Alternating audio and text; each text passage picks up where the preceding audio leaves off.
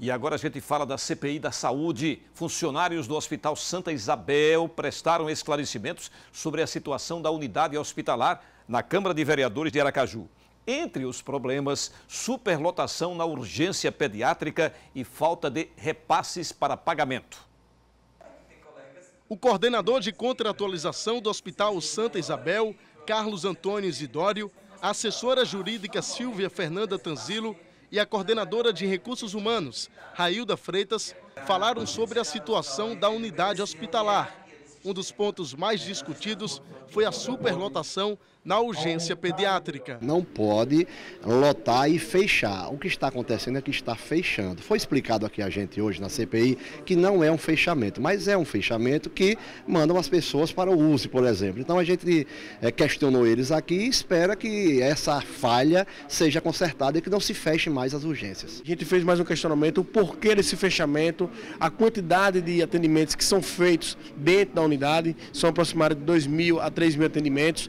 Então a gente sonha que o Hospital Santa Isabel ele cresça mais, precisa ter mais investimento dentro do Santa Isabel para que seja satisfatório o atendimento à sociedade. Nós temos nos empenhado ao máximo possível, dentro da nossa capacidade técnica e muitas das vezes até acima dela, para garantir assistência à população. Realmente é um momento de superlotação provocado por essa sazonalidade que a gente não tem o controle, mas o hospital ele tem é, se investido de tudo que pode, criando leitos reservas, criando o que a gente puder para assegurar esse momento.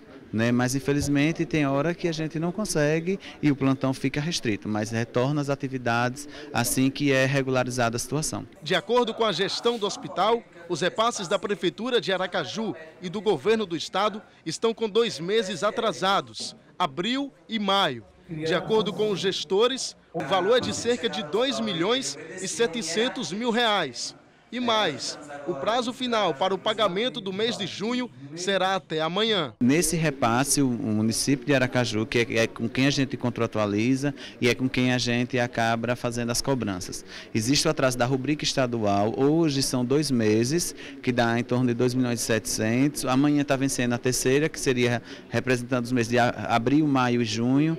Né? Hoje a gente teve conversa com o diretor administrativo financeiro da Secretaria do Estado e eles nos afirmaram que pagariam ainda hoje, até a hora que eu vim para aqui, eu não tive recebido, não recebemos ainda a confirmação, mas ele confirmou que uma, pelo menos uma parcela seria repassada hoje. Na próxima reunião da CPI da Saúde, serão ouvidos o ex-secretário municipal da Saúde, André Sotero, e a atual Vanesca Barbosa. Nós, na próxima reunião da CPI, nós vamos convidar, eh, convidar a secretária municipal de saúde e o ex-secretário de saúde para que junto é, aqui nas oitivas a gente busque mecanismo para que fatos como esse, nesse momento, como é a pediatria de Santa Isabel fechada, não venha a acontecer.